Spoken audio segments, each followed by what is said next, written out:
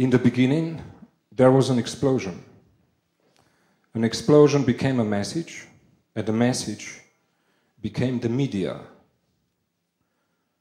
The media is talking about the growth, about the creation of new jobs, that every citizen of the world will buy a car, that any nation of the world can call for public works to build the highways. Every citizen of the world needs a bomb that explodes 2,000 times per minute. Every citizen of this world needs a machine to drive her to working place every morning. She needs a car in order to get employed. She needs a car in order to get employed, to drive over the public roads to the job. She needs the job to pay off the credits. She needs the credits to buy her car. Without a car, there would be no roads. And without the roads, there would be no jobs. And without the jobs, there would be no credits. And without the credits, the winner would have no reason to go into the war.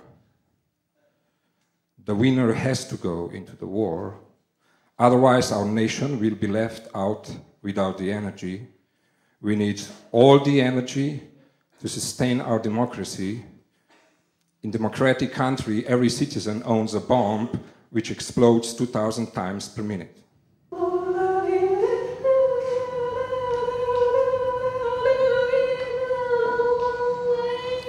In the beginning, we killed all the bisons until they had nothing left to force them to work on the plains. And when they were not working good enough, we bought in the slaves and we produced a new race when we discovered it is possible to improve the efficiency of the work, to motivate more this way, we upgraded the slaves into the working class, because only the working class can consume all what the machines are multiplying.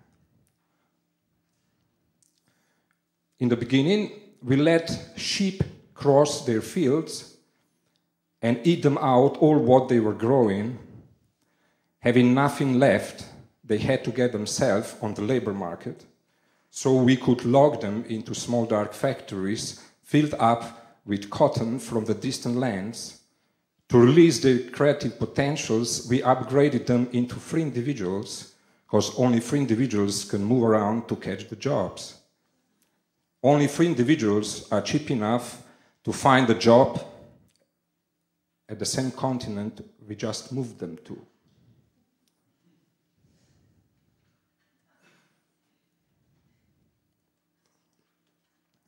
In the beginning, there was an explosion, and the mountain of the coal had to walk away from where they were found.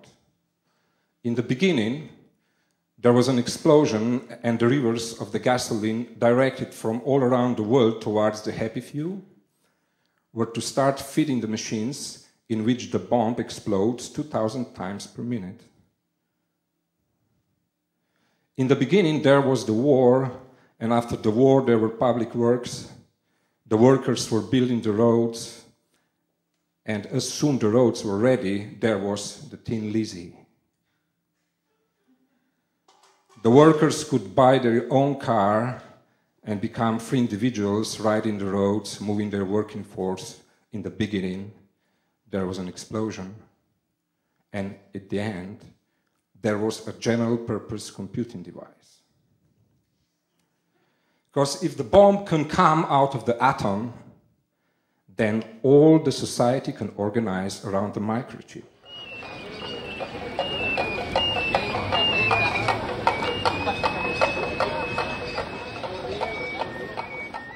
One button to start the bomb, one chip to control the society.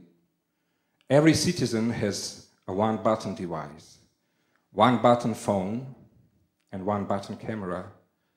Every citizen holds a mouse. Every citizen holds the keyboard and the wheel to organize own life, to catch the pleasure of keeping the peace, to consume fast enough to still get employed. Every citizen has to have a job. Every job is to hold one button. One button will turn off all the lights, and one button will turn on the World Data Bank. There will be one button device which will consume all the energy. There will be only one button on the world which will switch all the internet on and off. One big democratic world, there will always have to be a permanent energy flow to sustain our data. There will be no data without the energy.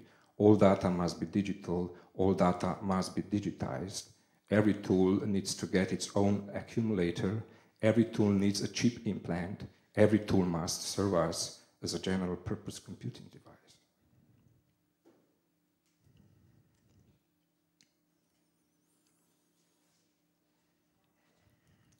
A general purpose computing device will calculate us all the way until our sick king will reach immortality. The sick king will live forever. The sick king will get the heart transplant. The sick king will get the skin transplant. The sick king will get the chip implant. The sick king will get new kidneys from the third world. The sick king will retire to conserve himself in the geostationary satellite motel. And from there, he will contemplate the new world order through all the control cameras of the World Shopping Center. The sick king will clone itself into the future. The sick king will transcend through the multi-platform cinemas, the Seeking will gonna program us through the high definition television. The Seeking will give us more music and more MP3. The Seeking will deliver us Woodstock every here and there. The Seeking will make us believe that by singing we can stop the war he already lost. The Seeking will make us believe he will win the war which forbid us to sing. Genetically redesigned king the king who uncovered the secret of the living universe, riding around with a car, which needs a bomb inside to explode 2,000 times per minute.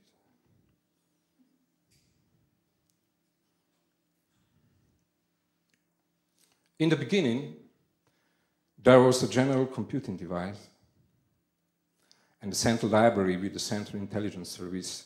Day by day the geometry of the central processor is emanating from the sky down into the world of disorder. One company is to produce one processor, and one million companies are to pack the one processor, five companies are to make the electronic memory, and one million companies are to pack the Holy Trinity and attach it the accumulators of the different size. Every new device has another size of battery, but same processor to run them all.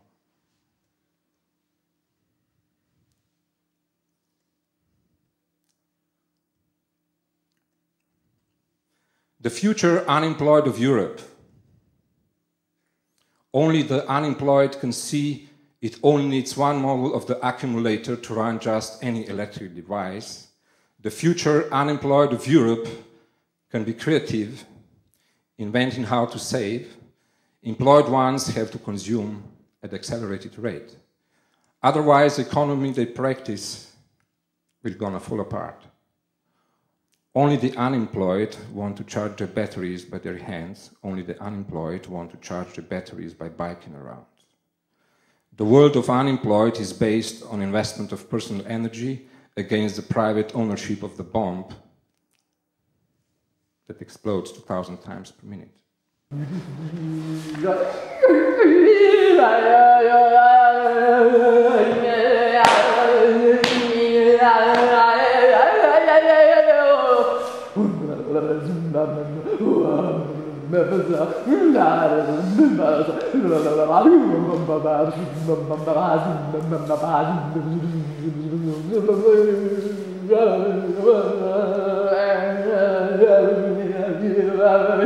Only the unemployed people have the time to rethink and discuss the troubles imposed by the outdated laws. The outdated laws have to be reconstructed in a permanent discussion. Under the permanent construction, there is no need to change them forever or only here and there. The new laws can be in a constant research as close to organic development as possible public standards are inviting just anybody to better and refine them. The only agreement fixed is the interface, which serves as a bridge from the past into the future. We can define the surface of connection and the form, while the content can be under permanent construction. Every creative mind can work from where the former left off. The basic building blocks are getting closer to access. The basic building blocks are free to vary, exchange and interchange every part of a device can be upgraded and recycled without throwing away the rest.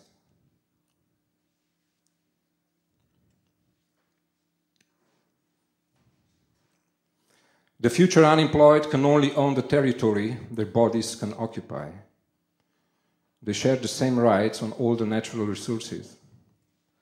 They can use a whole earth as a generator with an endless capacity they can use the magnetic lines that travel from one pole to another like the tram lines. They can charge their flying carpets with the friction of rotating hemisphere they fly through. The most lightweight is the life of unemployed. They owe no trash or ballast. They charge their accumulators by their bioenergy, use less and less, they consume less and less products which are not produced by themselves. The main products of the future unemployed are emotional atmospheres, inspiring environments, attentive dialogue situations, symposia that can last more but three days. Only the unemployed can really work at home. Only the unemployed can rise and educate their kids by their own. Only the unemployed can really travel open eyes and stay in spaces until they really learn about specifics and translations.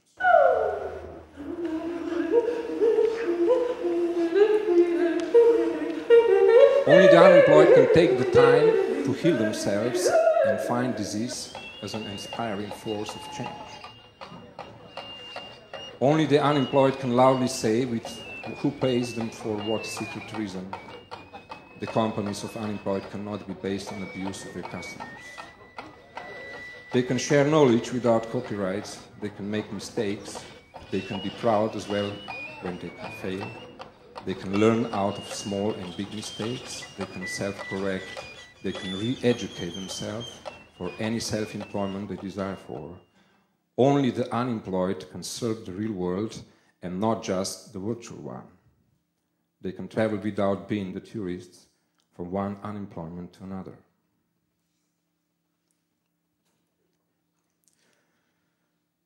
European electric car, when truly reaching the size of the largest developed market on the planet, Europe must reshape the means of transportation. The European electric car will change the architecture of the roads, hotels, motels, cities, villages, and towns. The European electric car will change the way and style of life. It will create new complex exchange of knowledge. It will provide less jobs and more creative work instead of physical public works it will retrace the roads into public thinking centers. The intelligence of Europe has to invent the new public rituals before the misery hits and establishes itself by force. The European electric car will redirect the decay of the industrial world. It will stop the agony of Muslim culture and will inspire China not to grow back towards the dirty industries of the First World War, the electricity of New Europe